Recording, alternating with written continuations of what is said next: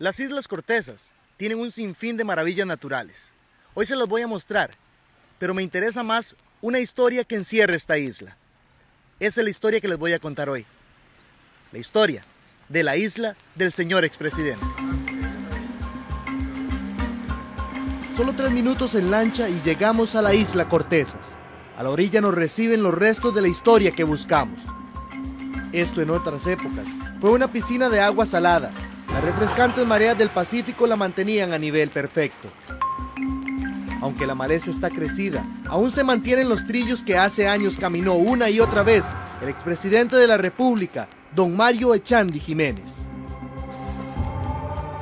Sí, así como lo oye, esta, la isla Cortesas fue el lugar de recreo del expresidente Mario Echandi.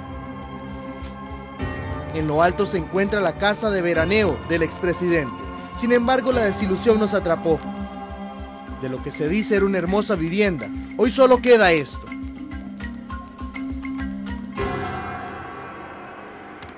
Solo quedan viejos recuerdos del sitio que en múltiples ocasiones fue visitado por presidentes, diputados, políticos y personajes internacionales.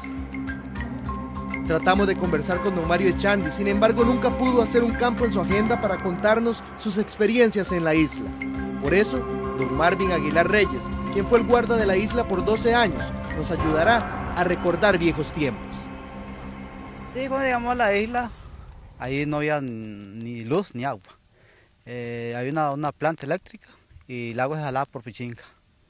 Después, traje con como 5 años, lo botaron entró un sobrino mío que se llama Javier Aguilar y ya don Mario metió la luz y metió el agua. Don Mario tuvo la isla por 17 años.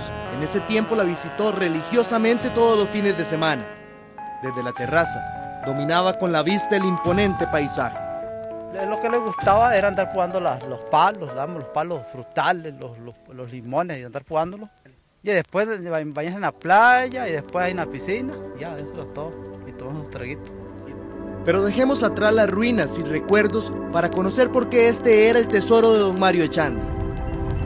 La soledad que reina en la isla la convirtió en el sitio predilecto de cientos de aves marinas. Además, frente a sus orillas, una y otra vez salen las tortugas verdes a respirar y juguetear. También otras especies marinas se pasean despreocupadas entre las cristalinas aguas.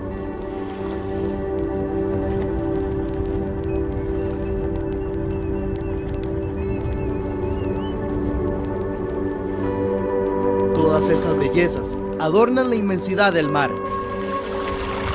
Dejamos atrás ese solitario paraíso que los lugareños de Punta Morales conocen como la isla del presidente.